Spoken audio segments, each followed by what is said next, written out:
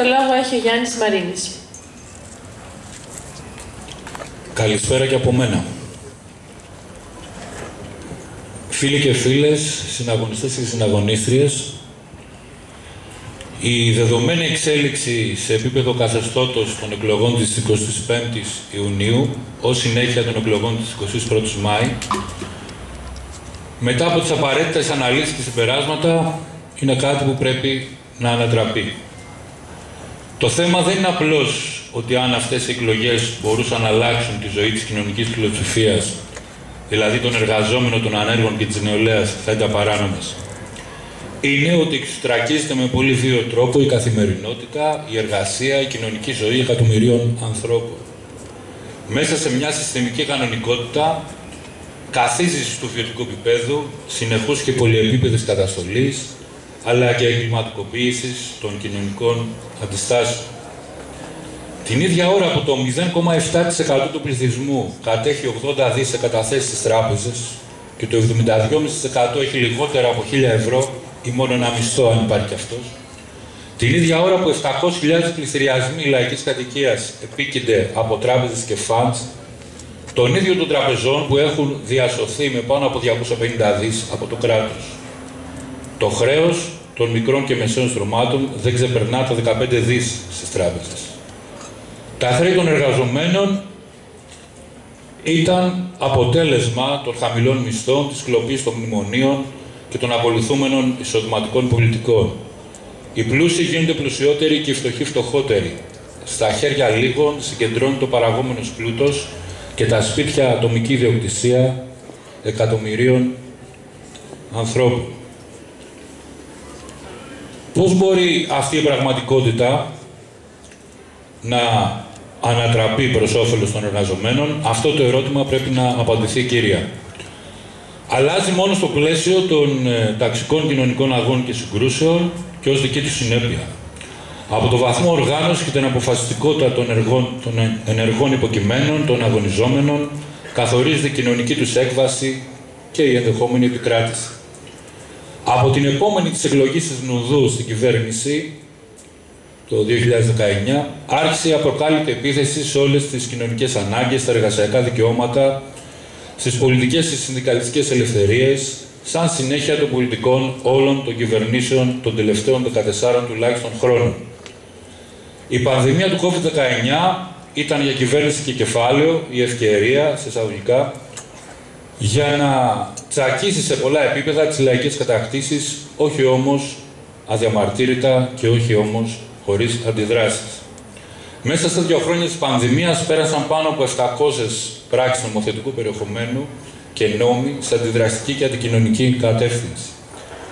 Η πανδημία με τους 37.000 νεκρούς μέχρι σήμερα ως συνέπεια του διαλυμένου ΕΣΥ και με ευθύνη όλων των κυβερνήσεων, χωρίς μόνιμες προσλήψεις στην υγεία ή με ελάχιστες, χωρίς απαραίτητες μεθ, χωρίς επιτάξεις μεγάλων ιδιωτικών μονάδων υγείας. Από τον, από τον Απρίλιο του 20, το λαϊκό κίνημα, γιατροί και κοινωνικοί, φοιτητές, εκπαιδευτικοί και άλλοι, έσπασαν μαζικά τη σιγή νεκροταφείου της κυβέρνησης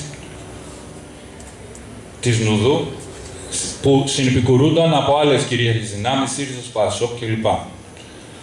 Με ομή κατασταλτική βία, οι κρατικοί μηχανισμοί αντιμετώπισαν τις κινητοποιήσεις του Πολυτεχνείου και τις 6 Δεκέμβρη του 20 που απαγορεύτηκαν. Όμως, με κορύφωση τη μεγαλειώδη διαδήλωση του καλοκαιριού του 21, πολλών χιλιάδων ανθρώπων έσπασε στην πράξη απαγόρευση των διαδηλώσεων και των συγκεντρώσεων. Από το Γενάρη του 21 το φοιτητικό κίνημα με αποφασιστικότητα και διαδηλώσεις και συνεχείς διαδηλώσεις κάθε Πέμπτη συνετέλεσε σε αυτό. Το Μάρτιο του 2021 μεγάλες κινητοποιήσεις με επίκεντρο τα γεγονότα στη Νέα Σμύρνη απάντησαν στον δρόμο και αποκαθήλωσαν την απροκάλυπτη κρατική βία. Απεργιακές κινητοποιήσεις όπως αυτές της Κόσκο ή της eFood έσπασαν στην πράξη των απεργοκτών ο νόμο Χατζηδάκη και με επιμέρους νίκες αντιπαρήρθαν την κατάργηση στην ουσία του συνδικαλιστικού δικαιώματος, δείχνοντας ότι οι διεκδικήσεις των εργαζομένων εκτός από αναγκαίες είναι και εφικτές. Οι μεγάλες απεργιακές και άλλες κινητοποιήσεις στην εκπαίδευση ενάντια στους νόμους Κεραμέους για την αξιολόγηση, 11 Οκτώβρη του 2021 κλπ.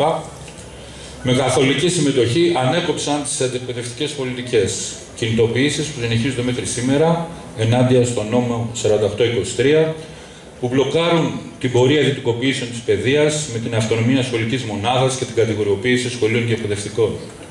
Το Σεπτέμβριο του 2022 το φοιτητικό κίνημα δίνει ένα αποφασιστικό σημαντικό χτύπημα στην εισβολή της Πανεπιστημιακή Αστυνομίας στα ΑΕΗ και την καθιστά ενεργή με την ευρύτερη αλληλεγγύη και στήριξη άλλων αγωνιζόμενων κομματιών.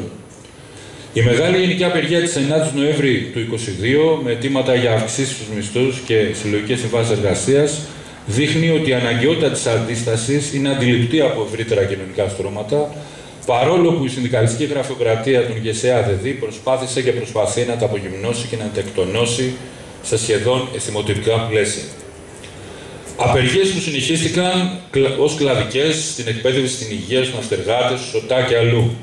Οι πρόσφατες κινητοποιήσεις με απεργία διαρκείας, καταλήψεις και πολύμορφο αγώνα των καλλιτεχνών έδειξαν την από τα κάτω δυναμική του αγώνα που σε αυτή την περίπτωση ε, ξετυλίχθηκε με αφορμή τον επιβασμό των πτυχίων των καλλιτεχνικών σχολών σε απολυτήρια Λυκείου.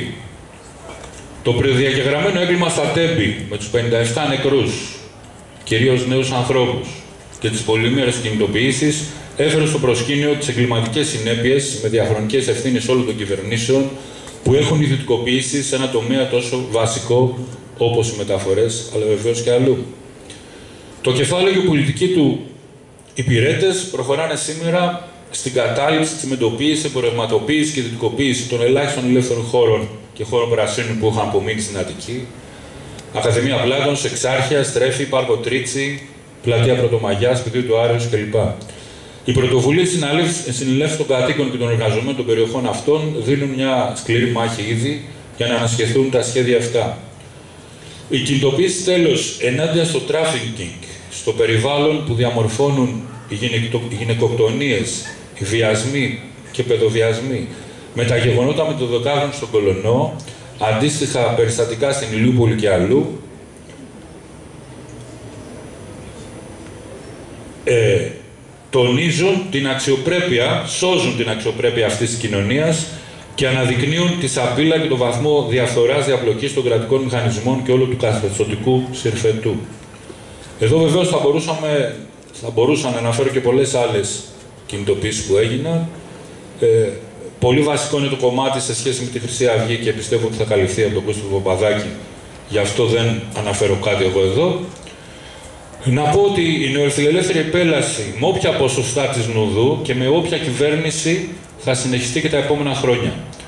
Η αύξηση του ποσοστού κέρδου για το κεφάλαιο στο έδαφο συνεχιζόμενης οικονομικής κρίσης θα επιχειρηθεί με ματωμένα πλεονάσματα άνω τους 2% με νέα φορολογία με άμεσους και έμεσους φόρους, ΦΠΑ, ειδικούς φόρους κατανάλωση κλπ. σε, σε μισθωτούς και συνταξιούχους και νέες φοροαπαλλαγές για το κεφάλαιο και τους κατέχοντες. Με παραπέρα ιδιωτικοποιήσει, ακόμα και στο νερό, ειδικά στην υγεία όπου υπάρχει ψηφισμένος νόμος, στην εκπαίδευση με, τις, με την ελεύθερη επιλογή σχολείου, όπως λέγεται και τα βάουτσερ, με νέες αντιμεταναστευτικές φρικαλαιότητες στον Εύρο και σε όλη την παραμεθόριο, με εκατοντάδες πνιγμένους και, και pushbacks με την εφαρμογή των εγκληματικών πολιτικών της ΕΕ και την Ευρώπη Φρούριο.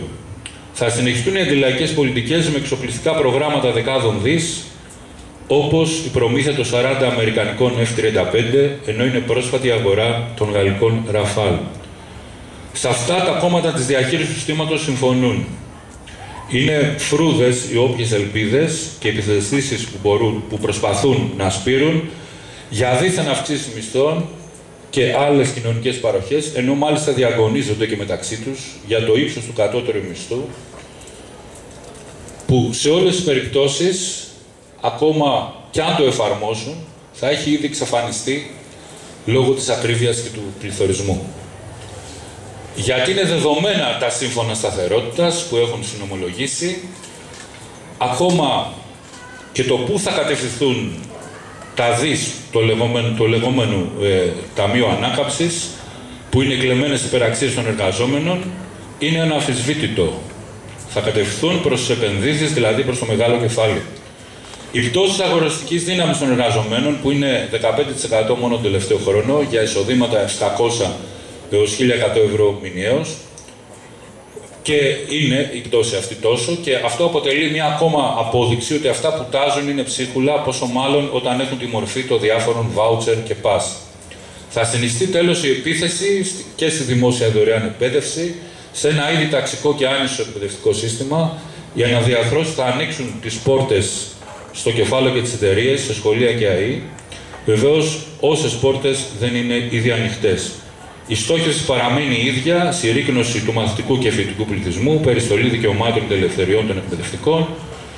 Αυτό δείχνουν οι νέες φετινές μειώσεις ακτέων στα ΑΕΗ, τα νησιν 2 και οι για διαγραφές φοιτητών, η εξίσου κολεγίων με ΑΕΗ κλπ. Η γνώση, επειδή δεν είναι εμπόρευμα,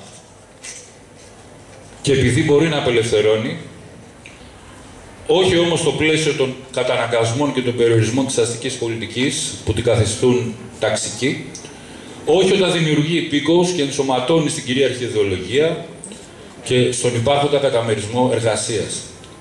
Βασικός παράγοντας για την νικηφόρα έκβαση των κοινωνικών ταξικών αγώνων ήταν και παραμένει βασικός αρνητικός παράγοντας ο ρόλος του εργοδοτικού, κυβερνητικού και κρατικού συνδικαλισμού.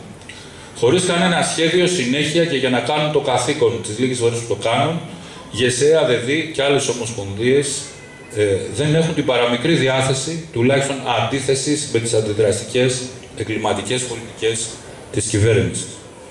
Κάτι που ανέδειξε και η πρόσφατη δολοφονία εργάτης στο Πέραμα, συνέχεια των ε, συνέπεια των ελληματικών μέτρων ασφαλείας, και της ταχείας εξυπηρέτησης του εφοπλιστικού κεφάλαιου. Θα περίμενε κανείς άμεση κάλυψη των σωματείων της περιοχής και προκήρυξη απεργιών μέχρι να τιμωρηθούν οι ένοχοι σε ένα σύστημα που έχει και αλλιώς δολοφονία. Αλλά προφανώς δεν έγινε κάτι τέτοιο. Πρέπει να γίνει σαφές ότι είναι μόνο η φωνή και η οργανωμένη αντίσταση των από τα κάτω, στους χώρους δουλειάς, στα σωματεία και στις συνελεύσεις, στις επιτροπές αγώνα και στις ανεξάρτητες λαϊκές επιτροπές που μπορεί να αντιστρέψει αυτή την κατάσταση.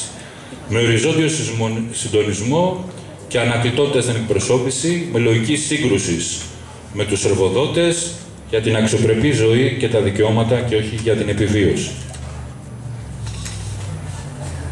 Όμως αυτό δεν φτάνει. Η αυτενέργεια και η προοπτική αντίδραση των μαζών μένει αδύναμη όταν δεν συνειδητοποιεί τα αιτήματα διεκδίκησης που μπορεί να είναι από μια αύξηση μισθού έως οτιδήποτε άλλο, αν δεν συνδέεται με το χτύπημα της ρίζας του κακού, της φτώχειας και της ανέχειας, που είναι το ίδιο το εκμεταλλευτικό σύστημα. Με εργατική συνολική ανατρεπτική πολιτική, ένα πρόγραμμα και πλαίσιο πάλι που δεν υποχωρεί και ως το τέλος διεκδικεί. Πόσες φορές έχουν προσπαθήσει οι υπεύθυνες δυνάμεις να μας πείσουν και όλους εμάς και τον κόσμο ότι μέχρι εδώ είναι τα άλλα που λέτε δεν γίνονται. Γι' αυτό και τώρα εμφανίζονται με την ταμπέλα της αυτοδύναμης αντιπολίτευσης. Επομένως, είναι αναγκαία συνθήκη το σταμάτημα της κλοπής της εργασίας μας, κατάργηση της σχέσης κέρδους κόστους στην κοινωνική ζωή.